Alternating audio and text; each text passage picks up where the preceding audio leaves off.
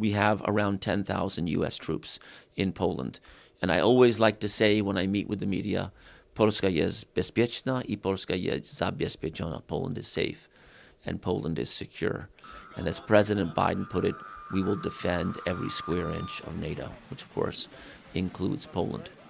In terms of what we're doing to support the Ukrainian people, well, tactically, uh, there is a dynamic quality to it because we have evolved as the Russian attacks, unprovoked attacks on Ukraine have changed.